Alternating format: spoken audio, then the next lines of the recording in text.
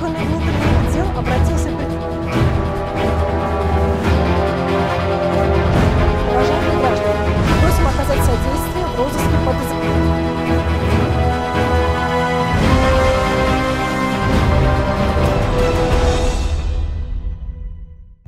Здравствуйте! В эфире передача «Дежурная часть». В данном выпуске заключен под стражу подозреваемый в совершении квартирных краж. Молодые люди, хранившие при себе наркотическое вещество, привлечены к ответственности. В Сергелийском районе установлены личности граждан, подозреваемых в мошенничестве. Похитивший колеса от автомобиля мужчина задержан.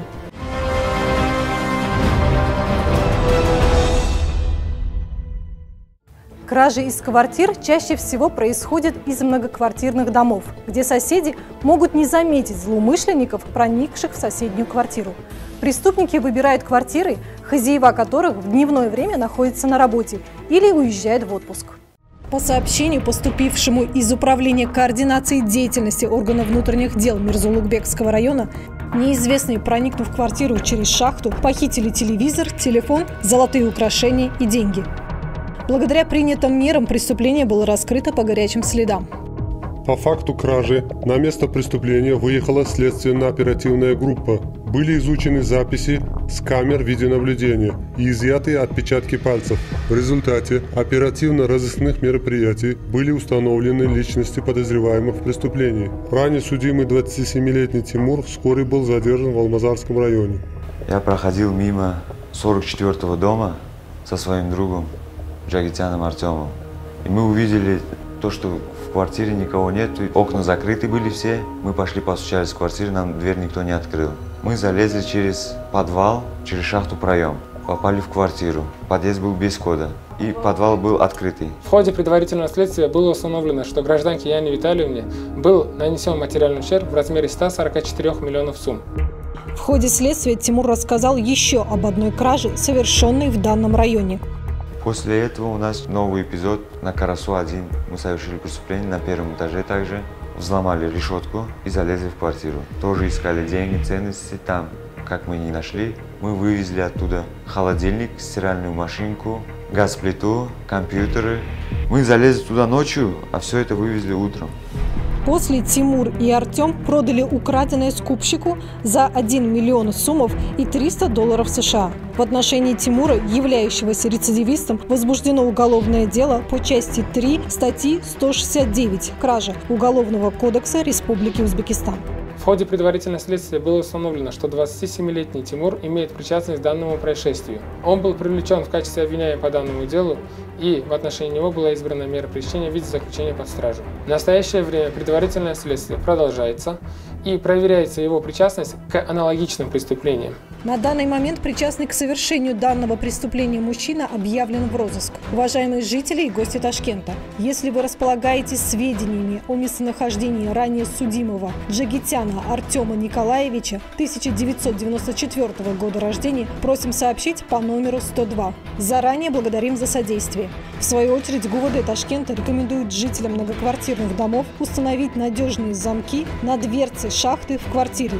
Также рекомендуем закрывать дверь подвального помещения на замок и установить кодовый замок на входную дверь подъезда. Будьте бдительны. Наркоманию без преувеличения можно назвать самым страшным явлением нашего века. В ее коварные сети с каждым днем попадает все больше людей, пытающихся убежать от проблем и стрессов, либо желающих попробовать что-то новое.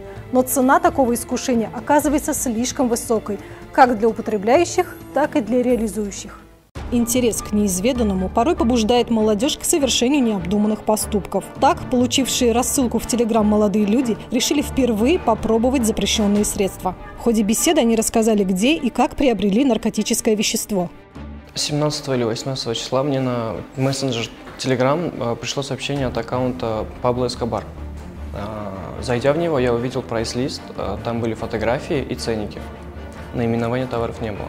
Э, Я изначально удалил чат с ним, так как мне стало не по себе, я впервые видел такие сообщения, Э, я удалил его. И кажется, на завтрашний день или же через несколько часов это сообщение пришло моему другу. Э, После увиденного сообщения э, мы подискуссировали с ним э, и пришли к общему решению просто попробовать. И попросили у него э, самое слабодействующее и самый дешевый наркотик. Я со своим другом обдумывали это э, дело и решили заказать 19 числа, оплатив через карту. Через примерно 20-25 минут он скинул нам локацию э, с картинкой, со стрелочкой указанной, где лежит э, эта вещь. Это было на улице Наваи, Юкарчический район. Сзади столба, а там лежали камни. Отодвинули камень, увидели там тысячесумную купюру э, и крышку. Потом мы вернулись обратно домой, смастерили бутылку. Он сказал смастерить как, потому что мы не знали как. Он сказал посмотрите в интернете. В интернете полный обзор этих вещей есть. Затем молодые люди направились в Ташкент, в компьютерный клуб, взяв с собой наркотическое вещество и пластиковую бутылку. Примерно в 2 часа ночи к ним подошли представители правопорядка. В ночь с 19 на 20 июля в ходе обхода вверенной территории сотрудниками ГУВД были задержаны двое молодых людей, вызвавших подозрения. Они были доставлены в отдел внутренних дел. В ходе осмотра в присутствии понятых у них обнаружили и изъяли наркотическое вещество растительного происхождения, которое было направлено на экспертизу. Согласно заключению, изъятым веществом оказался гашиш. Tuman ichki ishlar organlari faoliyatini muvofiqlashtirish boshqarmasi huzuridagi tergov bo'limi tomonidan Следственным отделом Управления координации деятельности органов внутренних дел Мирабадского района в отношении молодых людей возбуждено уголовное дело по статье 276 Уголовного кодекса Республики Узбекистан. По итогам следственных мероприятий будет принято законное решение.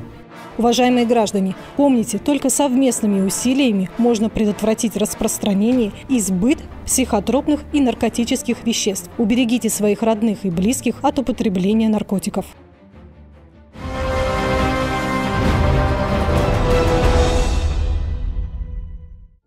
Некоторые наши граждане, желая быстро и легко приумножить свой доход, совершают умышленные преступления, одно из которых произошло в Сергелийском районе столицы. Далее подробнее. В целях обеспечения законности и правопорядка сотрудниками ГУВД Ташкента ежедневно ведется работа по пресечению правонарушений. Так, благодаря оперативным действиям сотрудников, преступление было раскрыто в кратчайшие сроки.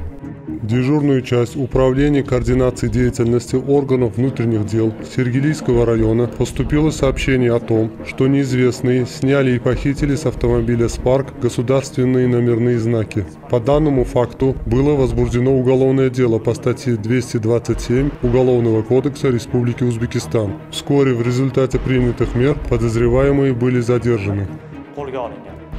Как оказалось, злоумышленники завладели номерными знаками для того, чтобы осуществить следующее преступление. В ходе следствия они рассказали, при каких обстоятельствах у них зародился данный коварный план.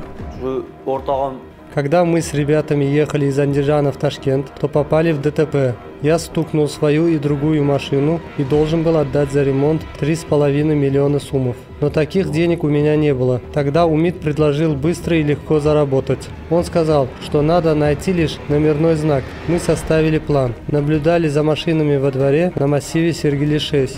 Я снял номерные знаки со спарка, оставленного на стоянке у дома. Умид наблюдал за ситуацией, а Элиор ждал нас в машине. В целях присвоения себе ценных вещей и дальнейшей их продажи, молодые люди, сменив номерные знаки, направились в Челанзарский район.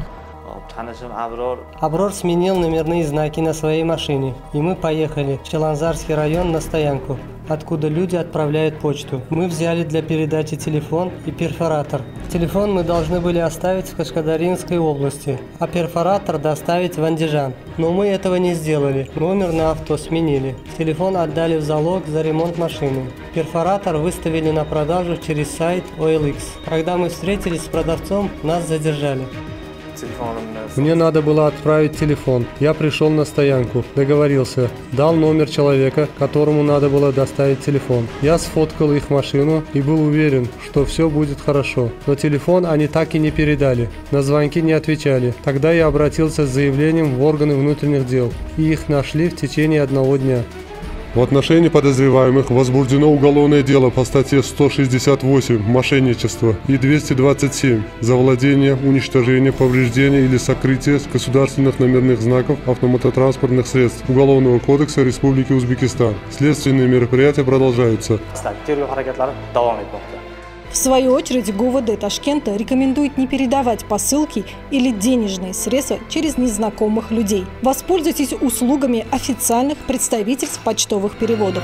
Будьте бдительны. Кража – одно из самых распространенных преступлений.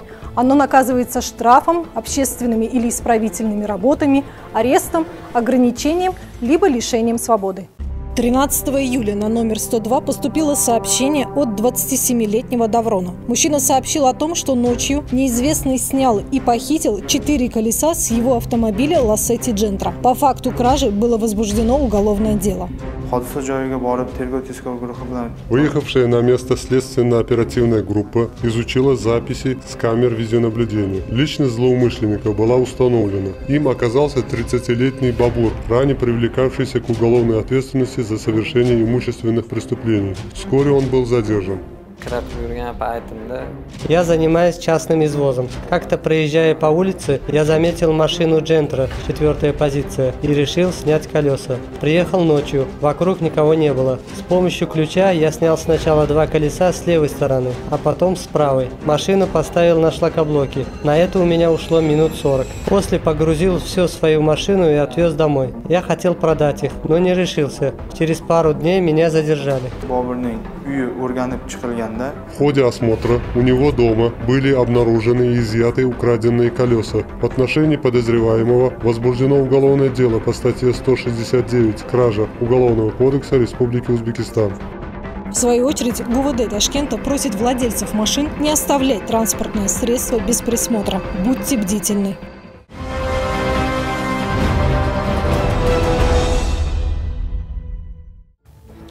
Сотрудниками службы пробации ГУВД города Ташкента регулярно оказывается практическая помощь в социальной адаптации лиц, освобожденных из исправительных учреждений. В частности, особое внимание уделяется вопросу их трудоустройства. Сегодня в нашей стране принимаются необходимые меры по нравственному исправлению и социальной адаптации осужденных. Растет роль и значение ярмарок вакансий, проводимых в районах. Так, по инициативе службы пробации совместно с представителями службы содействия занятости населения в Челанзарском районе было организовано очередное такое мероприятие. Основная цель – решение вопросов трудоустройства поднадзорных лиц. В нем приняли участие представители различных предприятий, фирм и государственных учреждений. Посетители ярмарки получили исчерпывающие ответы на интересующие их вопросы.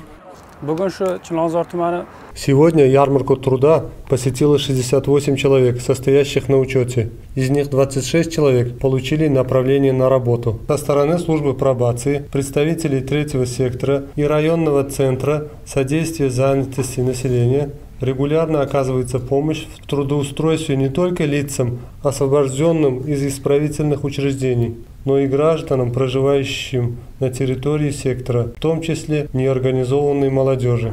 Стоит отметить, что представленные вакансии предлагаются в зависимости от места проживания лиц, находящихся на испытательном сроке и отвечающие требованиям службы пробации, а также исходя из интересов граждан. В ходе ярмарки временно безработные граждане были трудоустроены в выбранную ими сферу. Сегодня нас пригласили на ярмарку труда. Здесь представлены различные вакансии. Я выбрал для себя три направления, которые мне нравятся, и то, что соответствует моей специальности. Подобные мероприятия продолжаются и в других районах столицы. Уважаемые жители и гости Ташкента, напоминаем, не стоит оставлять ключ в замке зажигания, а в салоне автомобиля на видном месте ценные вещи. Будьте бдительны.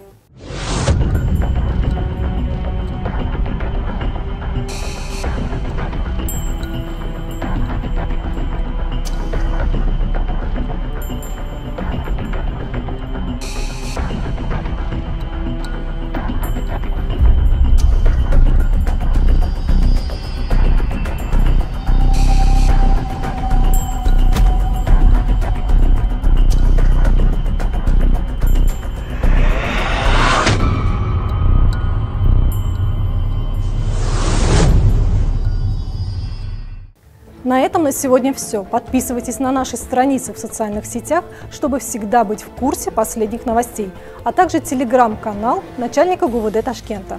Берегите себя и близких. В органы внутренних дел обратился... Уважаемые граждане, просим оказать содействие в розыске подозреваемых.